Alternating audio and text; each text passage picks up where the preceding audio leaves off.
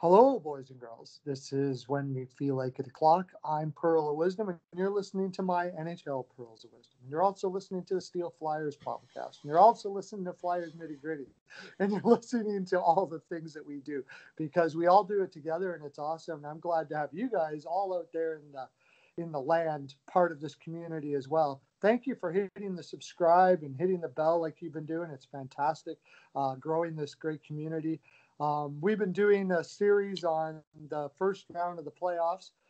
Uh, is this the last series we're doing? I think so. I think yeah. we're on the last game here now. We yep. did all the other ones. You can go check them out.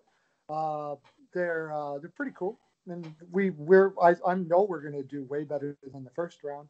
By the way, Ooh. I uh, not too many people did well in the first round. I looked at all the the uh, yeah did whatever. I didn't see anybody picking up too many people picking Chicago. I didn't see anybody picking Montreal. So, but this game here, this one series, I would, I personally would not bet money on this series. Um, we're looking at what I think is going to be a very interesting series of two contrasting teams uh, in many ways. We're looking at the St. Louis Blues and the Vancouver Canucks very interesting series in a lot of ways because St. Louis really had to drop down a lot in the seeding to, to play this game and uh, didn't really look all that well in the round robin, did they, Steele? No, no, they didn't. Um, first of all, thanks for having me on. It's a real pleasure to be with the pros. Um, you got the Professor Joe over there and the Pearls of Wisdom sitting over there. If you're not following these guys, you should be. Um, yeah, this. I'll tell you what, it's going to be. Um, I think number one, you got the returning champs coming back. Um, they didn't look good at all in the round robin, and in fact, they lost all their games in the round robin. So, uh, but I I tell you what, if they come out and play really well in the first, I think the first two games.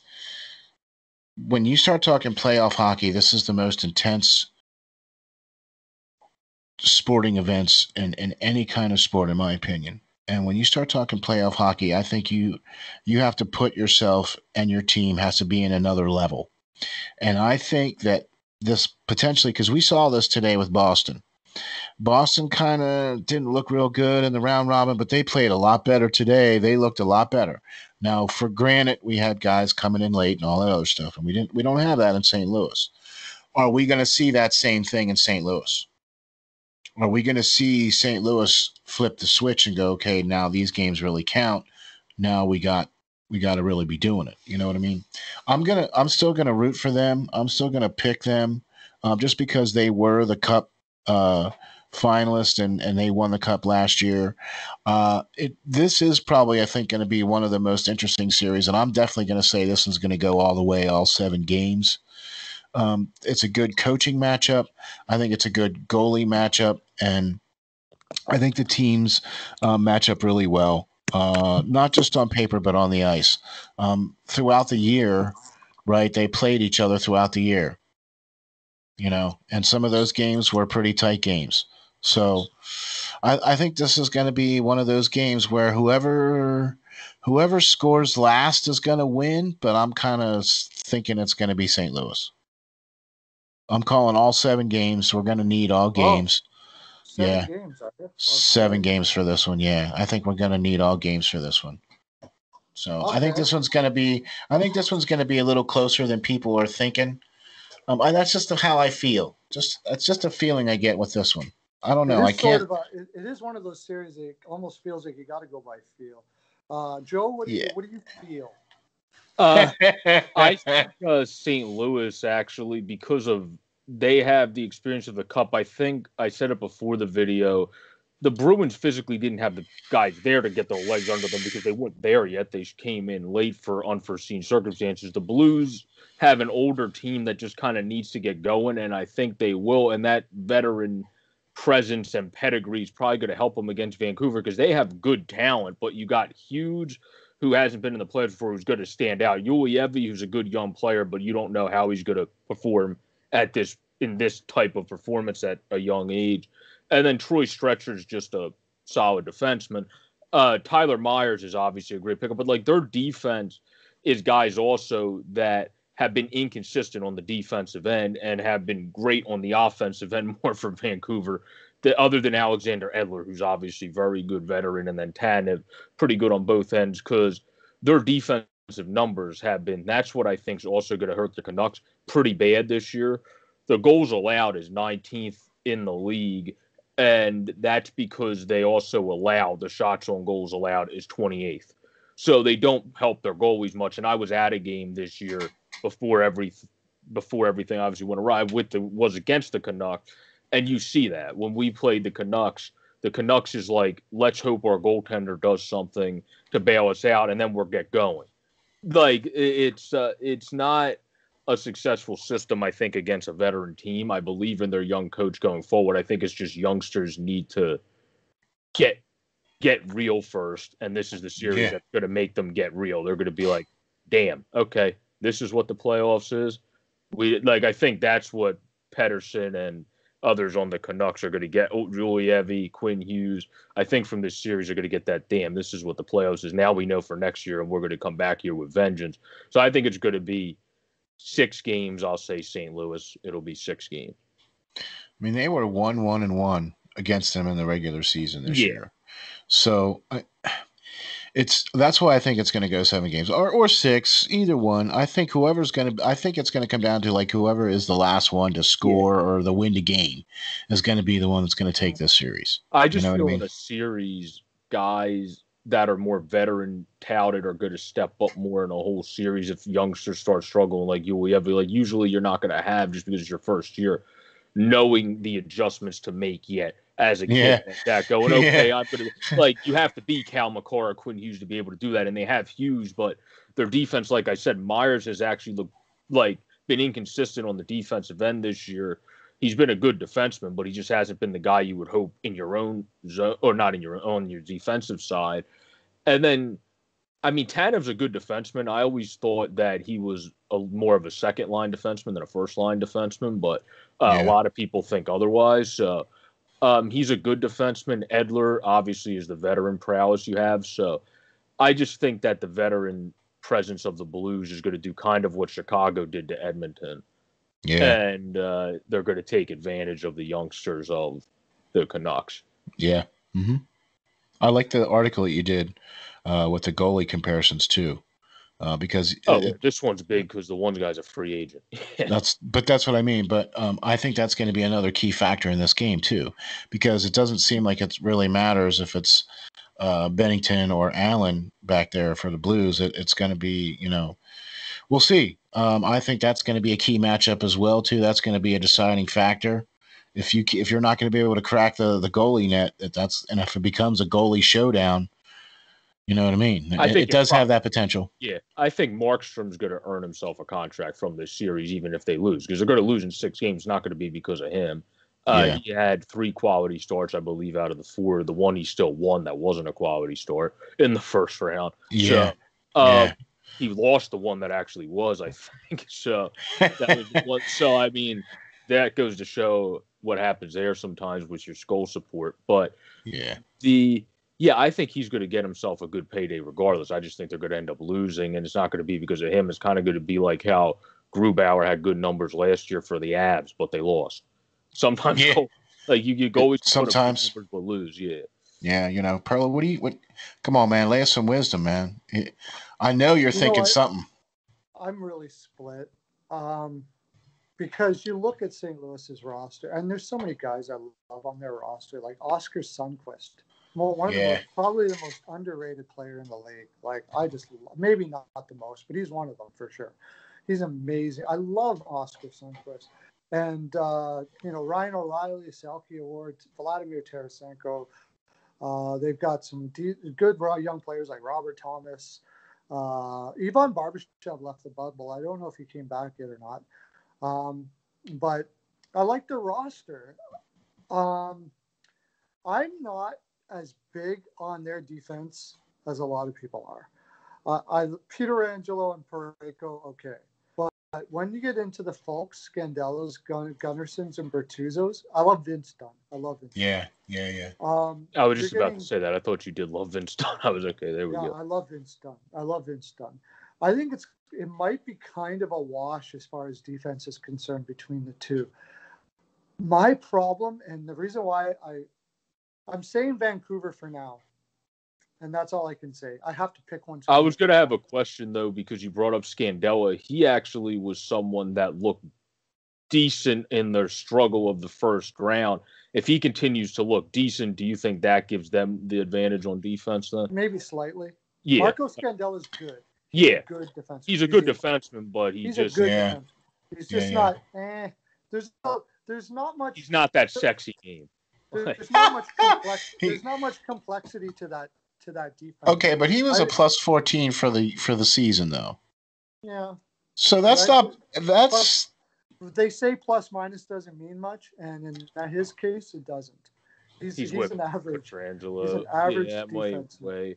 Weigh. I think Scandella though, uh, what would weigh more for him would be what his uh Corsi and all what his possession numbers are. And I yeah, don't have that Yeah. all right in front of me. yeah. I don't either. I think No. he's average. He's an average defenseman. Yeah, he's an average. Yeah, Carl Gunnarsson's an average defenseman. Todd Bertuzzo's an average defenseman. They bring some stuff. Like Uh, oh, actually, Scandella this year, if he continues to play like this year, then they might have a slight advantage. Corsi four fifty one point five is pretty good. not Uh, too bad. OZS is a fifty point three, which is the offensive zone's uh, fate, offensive zone star percentage. Excuse me. Mhm. So uh, yeah, he's pretty solid for that. So maybe they have a. It's but like you said, it would be like. I it's just I give them the advantage for the veteran presence more so. I think youngsters are more likely to, if you make one mistake, you're going to be like, damn. And then like you're gonna not be able to adjust as good as a Parayko, a, a Pietrangelo, uh, even if a Faulk makes a mistake because he's been in the league, even though he doesn't work as well with their scheme, he's still been in the league. Um, and then Scandella bounces back from mistakes all the time. We talked how he's just one of those simple, easy defensemen. Uh, whenever I have him on my team. Yeah. Don't get me wrong, especially at what he's only making two, three point two. That's not bad. Uh, but uh, my thing has been Binnington and Allen, and it's been a problem this year for the St. Louis Blues. They've gotten by in the regular season because of all the reasons you've said, and they've got a strong roster all the way through.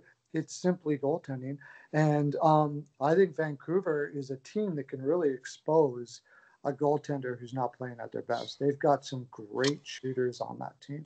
Brock Boeser and Pettersson and Toffoli and all of those guys like that. And I like their pushback a lot. Um, however, I'm really if St. yeah, Louis this wins, is a I- tough one to pick. if yeah. St. Louis wins, I'm like, yeah. And if Vancouver wins, I'm like, yeah. And, you Well, I had a Yeah. question though. Yeah, I was gonna say though. you Yeah, one Yeah. thing I had a question for was though with Binnington, I feel like he's one of those goalies that's like here's just like adrenaline meter, and when it's like the regular season, it's here, and Could then when it kicks in, it's like here because it seems like that's what happened last year, and a round robin. That's exactly what happened. Just like they said with No. uh, Marchand, is not going to get that feeling out of you. So. I think in the first round, tonight's the night we're going to really see what we're getting from him. And if he comes out and looks money, then that's problematic St. Louis for the. Canucks. Yeah, Which is why- which is why I said, yeah. money, if he looks Yeah. money, then, then Yeah. St. Louis wins handily. I would say. Which is why I said if that first game, if St. Louis comes out and Binnington looks really good and they play really well and they win, they win that game. It all it all depends. If they come out and they win the game three to two and it goes into overtime or something like that, then I'm not going to be as confident, you know. But if they come out and just smoke them, you know what I mean? Then then yeah yeah. that- I, I I'm with you guys hundred percent. Um, I think St. Louis should be should come out on the end. I just think it's going to be seven games. Um, we'll see. Could be, yeah, it could be. Yeah, Uh, we'll see. this is I one of those ones that could be all over the board. If Binnington comes out and plays like we know that he has played, it could be in five. If, Or if- four. If four. You know, I mean, right? if- Yeah. If Binnington's not super strong, St. Louis could still win this in seven. Markstrom could be the one that is the goaltender that Mhm. makes the, you know, that's the other thing. Markstrom has been playing very, very well this year and getting better and better as the year goes on. So it, this is a very up in the air series that I have a very difficult time picking. So, so Perlo, I got a question for you then. So, what are you telling your folks? Are you telling them to stay away from this one? Oh yeah, I don't. I generally don't bet. Tell my clients to bet series. Um, last the last ones I said I gave them Columbus small pearls. I like to call them. Uh, uh, not too many pearls on it, and uh, Okay. the New York Islanders though I was very bullish on, so I gave I gave Okay. it to them. Yeah, Okay.